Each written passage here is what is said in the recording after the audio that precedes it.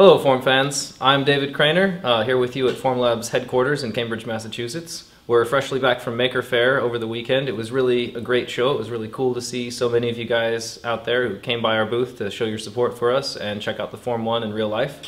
But now we're back in our office, we're back to work, and we're back answering some of your questions. So in this video update, we'd like to answer one of the most common questions we've been receiving, which is, can you tell us more about the functional mechanical properties of parts printed on the Form 1? So I'm sitting here with Craig Broady, one of our mechanical engineers, who would like to speak a little bit more about that. So over to you, Craig. At the Maker Faire we have this 4-bar linkage, which is one example of a mechanical part. As you can see, it was printed as one part, and it moves very easily.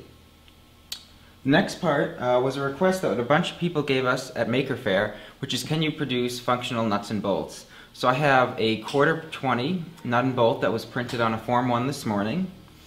And as you can see, the parts fit very well together. That's pretty awesome. We also tested to see if this works on uh, nuts that we could find in the machine shop. And as you can see, it does as well.